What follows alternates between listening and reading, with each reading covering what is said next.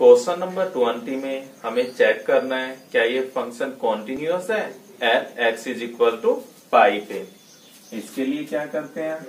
Limit x approach is to pi f x is equal to f of pi ये check कर लेते हैं, अगर ये इक्वल आ रहे हैं तो बोल देंगे फ़ंक्शन कॉन्टिन्यूस है अदरवाइज़ कह देंगे कॉन्टिन्यूस नहीं है। तो सबसे पहले निकालते हैं। एफ़ ओ पाई इसके लिए क्या करेंगे? एक्स की जगह पुट कर देंगे। Pi pi square minus sine pi plus five तो इसकी वैल्यू आ जाएगी pi square plus five equation one because we know that sine five की वैल्यू कितनी होती है? ज़ीरो साइन पाई पे ज़ीरो होता है।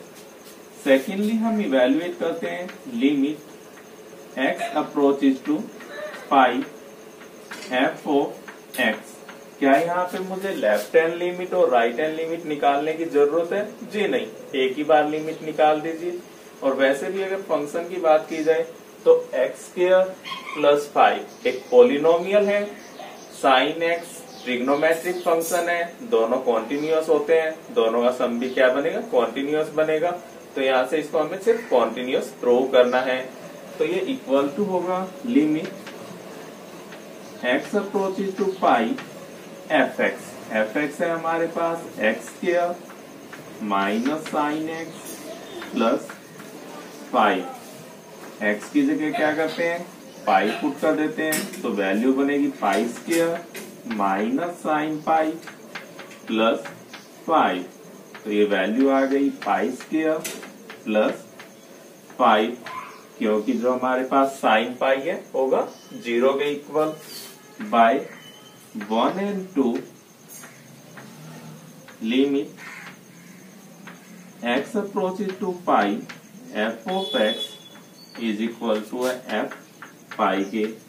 तो हमारे पास फ़ंक्शन जो होगा so f x is continuous at pi तो हम क्या लिख सकते हैं कि yes this function is continuous at pi देखिए क्वेश्चन नंबर 21 में हमें डिस्कस करना है इनकी कॉन्टिन्यूटी के बारे में कि ये फ़ंक्शन कॉन्टिन्यूस है या नहीं है। यहाँ पे देखिए फ़ंक्शंस क्या दे रखे हैं हमारे पास? साइन एक्स और कोस एक्स दे रखा है इनका। सम दे रखा है सब्ट्रैक्शन दे रखी है लास्ट पार्ट में इनका प्रोडक्ट दे रखा है।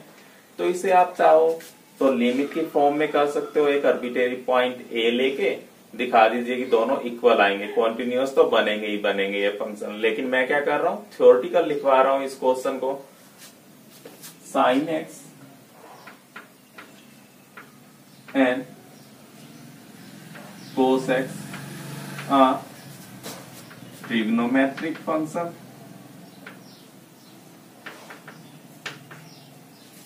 so these are continuous.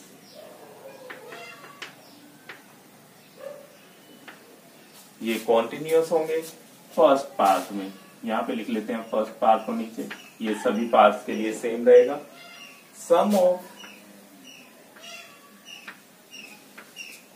two continuous function is continuous मैंने आपको फ़र्स्ट टाइम लिखवाया भी था। यदि हम सम करें दो कॉन्टिन्यूस फ़ंक्शंस का तो वो भी क्या होता है? फ़ंक्शन इज़ कॉन्टिन्यूस तो फ़र्स्ट पार्ट में हमारे पास क्या दे रखा है? कि आपके पास साइन एक्स भी कॉन्टिन्यूस है कोस एक्स भी कॉन्टिन्यूस है, क्योंकि ट्रिग्नोमेट्रिक फ़ंक्शन है। तो हमारे पास f x is equal to sine x plus cos x क्या होगा? इज़ कॉन्टिन्यूस तो ये कॉन्टिन्यूस होगा। सेकंड पार्ट में difference of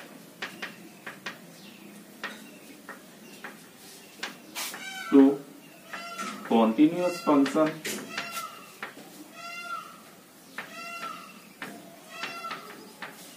is continuous यदि हम डिफरेंस लें, दो कॉन्टिन्यूस फ़ंक्शंस का तो वो भी क्या होता है? कॉन्टिन्यूस होता है।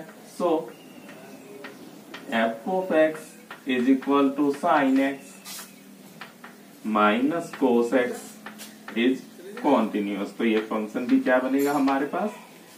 कॉन्टिन्यूस बनेगा। थर्ड पार्ट में हमें पता है कि product of two continuous function is continuous यदि हम प्रोडक्ट करें दो कॉन्टिन्यूस फ़ंक्शंस का तो वो भी क्या आता है? कॉन्टिन्यूस होता है। तो लास्ट पार्ट में देखिए, हमारे पास साइन एक्स और कोस एक्स का प्रोडक्ट ही दिया गया है। So f of x is equal to sine x into cos x is continuous next question है, वो आपको अपने आप करना है। उसके अंदर क्या दे रखे हैं? ट्रिग्नोमेट्रिक फ़ंक्शंस दे रखे हैं। और ट्रिग्नोमेट्रिक फ़ंक्शंस क्या होते हैं सभी के सभी? कॉन्टिन्यूस होते हैं।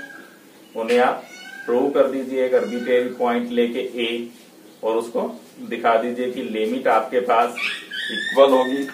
उसके अंदर आप प्रूव कर दोगे limit x approach to a f x is equal to होगा आपके पास एफ़ ऑफ़ ए के। ये वाला फॉर्मूला चाहो तो आप इन केसेस में भी अप्लाई कर सकते हो। यहाँ से भी आपके पास सभी फ़ंक्शंस क्या होंगे? कॉन्टिन्यूस प्रूफ हो जाएँगे।